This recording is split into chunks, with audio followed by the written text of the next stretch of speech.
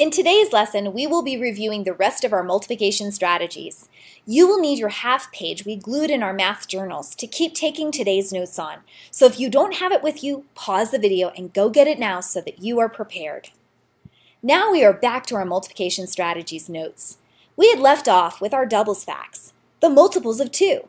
Circle the doubles on your notes. Many of our other multiplication strategies will build on this one. So let's revisit the doubles facts quickly. To multiply any number by 2, double it. So you see 7 plus 7 is 14. Well, we know that 2 times 7 is 14 because it's just 7 two times. Check out the threes facts. We can call these doubles plus 1 because to multiply any number by 3, double it and then add one more set of that number. Check it out. Our grid for 3 times 7 over here is really 2 times 7, the doubles, plus another 7. So we can solve 2 times 7 first, get 14, and then add on 7 more since it's 3 sevens, and that would be 21. Same thing is happening here with 3 times 9. We've got 9 the 9 by 2, shaded in blue there, representing 9 times 2 is 18, the double, plus another 9, the red, added onto the array makes a total of 27. So let's add some examples to our notes for the times 3 facts. We call those doubles plus one set. For all of these, we will double the number and then add it one more time. Here's a way we could write that to show what we mean. 4 times 3 is equal to 4 times 2, the double, plus 4 equals 12. Now I want you to think of one more 3 multiplication fact to add to this line and write it similar to the way we wrote our example to remind us that multiples of 3 are really doubles plus 1. Now we are looking at the times 4 facts. These we call the double doubles. Here are two couples going on vacation. We have two groups of two. To multiply any number by 4, double the number and then double that product.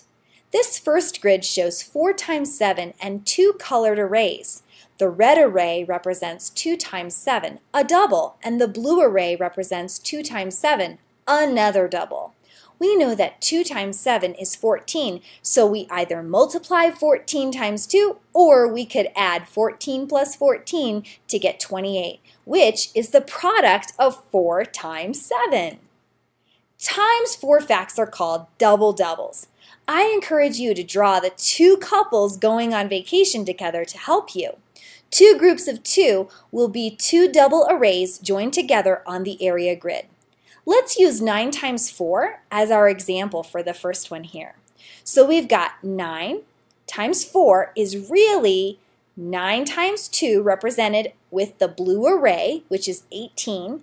And then we have our second double, the red array, which is also 9 times 2, 18. So then we add 18 plus 18 together, or 18 two times, which is 36. Instead of writing another example on this line, I actually want you to draw that 9 by 14 or, or the 9 by 4 array with two different colors, the way we have done here next to your notes. If you don't have room in your notebook, use the next page. Be sure to label it with what multiplication problem it represents. Heading into the 5 facts. We call them the half tens facts because half of 10 is 5. Check out how we can accomplish this. To multiply any number by 5, multiply it by 10, and then divide the rest in half, or the result in half. We know 10 times 6 is 60. The tens facts are no-brainers for us, so it's easy for us to think of them. Now, because 5 is half of 10, we can take the answer 60 and divide that in half.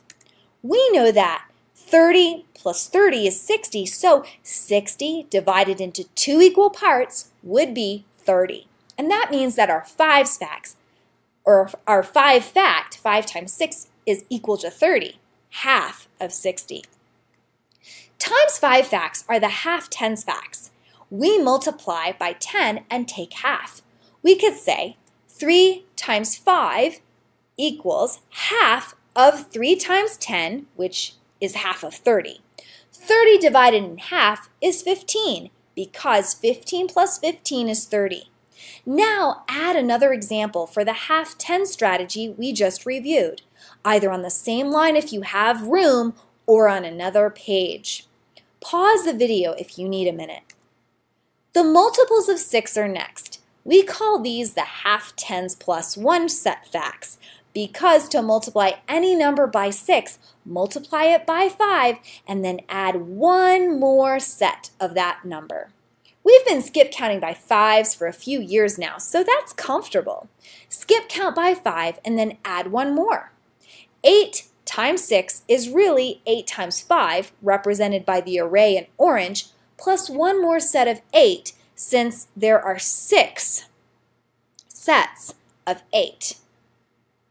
Do you see that? We add one more set of 8 represented in purple. So 8 times 5 is 40. That's right. And then we add 8 more. 40 plus 8 is 48. You can remember this little jingle to help you with this fact. 6 and 8 went on a date. They came back as 48. Now let's capture our times 6 facts with an example to show half tens plus 1.